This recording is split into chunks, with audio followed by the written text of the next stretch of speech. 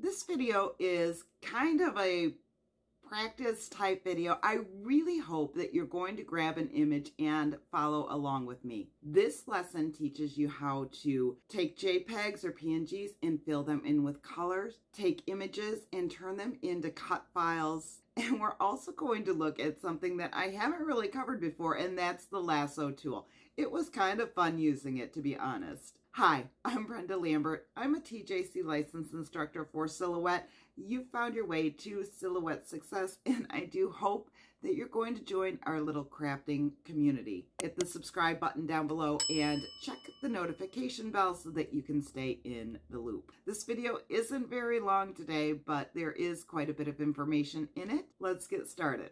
I was scrolling through on Creative Fabrica and I saw this image and just fell in love with it. And I decided that I would just play around with it and add some color just for fun.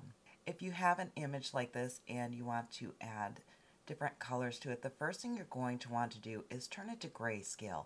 This is actually a navy blue and black will trace better. After you have it adjusted so that it is a black and white image, you're going to trace draw out your trace area and click on trace. You can then move the original image away and you're left with just the cut lines. Now we cannot ungroup this image, so we need to release the compound path. And that is going to make about a million different pieces, but that's okay. Now we are going to fill all of these pieces in with white so that they are easier to click on and easier to change the color on. If it's just an outline, sometimes it's harder to grab the little pieces. We will be using the lasso today to select a bunch of different little pieces. In the past, I have not used the lasso very much, but I've decided that I actually really like it. You click on the lasso and then just draw a shape around whatever you want to select and you have to make sure that you get the end point all the way back to the starting point and close that shape up. When all of the pieces are selected, you can choose a different color. Now I don't want her face to be yellow, so let's switch that back to more of a skin tone. And the reason I did it this way is because it's a lot easier to change the larger shapes than it is to go through and select all of the little bitty pieces in there. Now I can grab the larger areas and just change them to the color that I need. When you're working with the smaller areas, you can zoom right in on them and click a bunch at the same time and then switch the color on those. I'm going to speed up the video here because honestly I just keep repeating the same processes. I'm either selecting pieces with the lasso or selecting multiple pieces by holding down my shift key on the keyboard and clicking individual parts and then changing to whatever color I think might look best.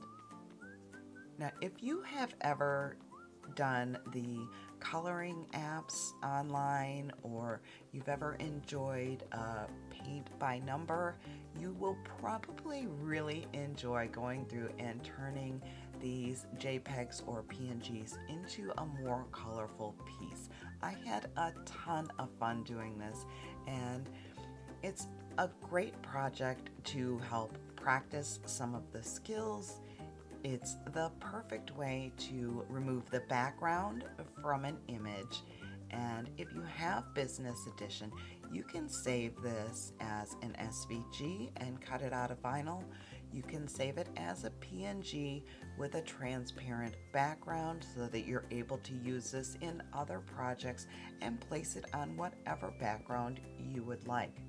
You can do a print and cut with this or you can do a sublimation print with this by removing the background and turning it into a vector file you increase the usefulness of this image so much.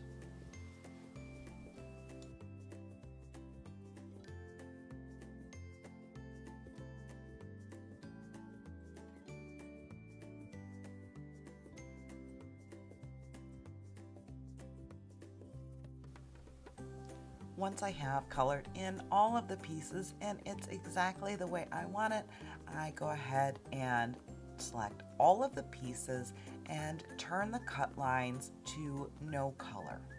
I am going to add a background to this. I'm just going to draw out a square and change the color to black and send it to the back. If you need a little more instruction on how to complete this type of project, you're going to want to watch either one of these two videos. They both have more information on converting a JPEG or PNG to a cut file. If you still have questions after that, you're going to want to run over to the Book of Faces and join the Facebook group. I will link it in the description below. Somebody is always there to lend a helping hand. Now go create something amazing and I'll see you in the next video.